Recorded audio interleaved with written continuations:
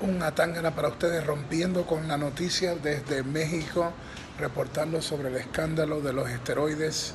El famoso documental de Rodríguez arroja más evidencia y pone una sombra tremenda sobre estrellas de la WWE. Comienza un escándalo con un ex participante de Tough Enough, Daniel Potter, pero también implica al entrenador de John Cena durante ese tiempo haciendo órdenes de esteroides de sobre 40 mil dólares.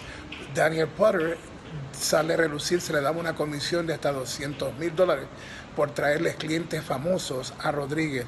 Aparte de eso, también el entrenador de Sheamus y Jinder Mahal también está envuelto en este lío de esteroides. Y esto se complica más, como ustedes saben, ya salió a relucir ah, anteriormente lo de Roman Reigns, estamos esperando a ver qué sale, pero en estos momentos rumbo a WrestleMania 34 hay un montón de situaciones que complica la imagen de WWE, porque recuerden, WWE es la empresa que contrata a estos luchadores en un momento donde todo lo que tiene que ver con, el, con, lo que es políticamente correcto, un lío de estos de luchadores, en, luchadores envueltos en esteroides, sea cierto o no, la mera acusación complica más. Ya hay nombres como eh, eh Cena con lo de su entrenador, Roman Reigns, eh, ahora Daniel Potter de Tough Enough y Sheamus y eh, Jinder Mahal. Esto se complica mucho más. Recuerden, estaré mañana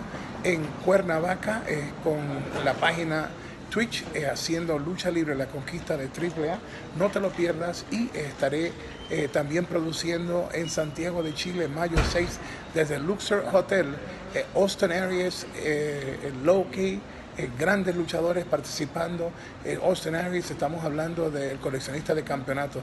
No te lo pierdas para tu canal favorito de YouTube, Lucha Libre Online, reportando Hugo Sabinovich desde Ciudad de México, a Tangana.